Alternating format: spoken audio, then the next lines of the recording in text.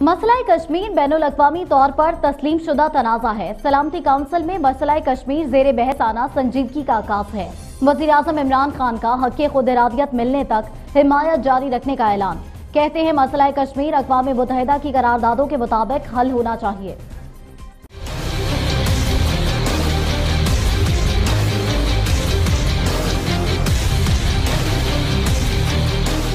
وزیر اعظم عمران خان نے سماجی رابطے کی ویب سائٹ پر ٹویٹ کرتے ہوئے کہا ہے کہ مقبوضہ کشمیر عالمی طور پر تسلیم شدہ متنازع معاملہ ہے اور مقبوضہ کشمیر سلامتی کونسل کے ایجنڈے میں شامل ہے۔